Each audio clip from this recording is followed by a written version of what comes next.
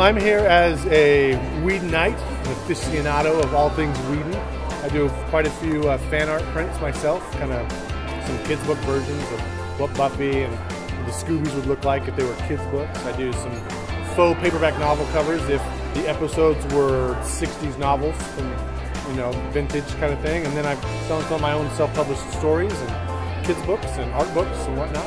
Uh, I collaborate with a lot of different artists. Uh, like the art books, it varies depending on the book.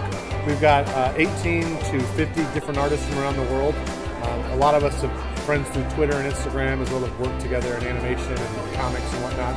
Uh, and the same thing with the charity art show that we do for the, the, the con itself.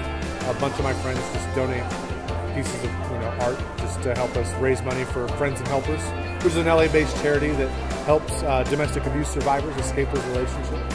Uh, you can find me on social media at Uh, Instagram and Twitter and Etsy. I have an Etsy shop, so at Tiki Machine.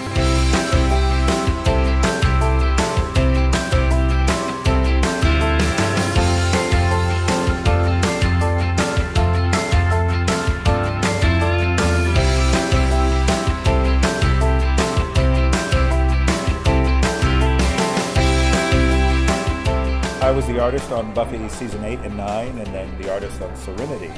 Uh, Leaves on the Wind and No Power in the Verse. When I did come into it, since I wasn't so much of a fan, I didn't know the pressure because I didn't know what the fans were like. I didn't know how rabid they were and how specific they can be, which is great, but it never affected me because I, I wasn't a part of the world yet. I had the clout that Joss Whedon actually chose me to do the work so if anybody came saying, well, I don't like it, I don't like what you do, like, well, Joss likes it. I just finished up another Serenity series called No Power in the Verse, and now I'm doing a series for um, DC uh, that should be out in July. It's called The American Way, and uh, it'll be another six issues. And they're doing a new packaging of the DVD season set for Buffy, and I've done some illustrations for that as well.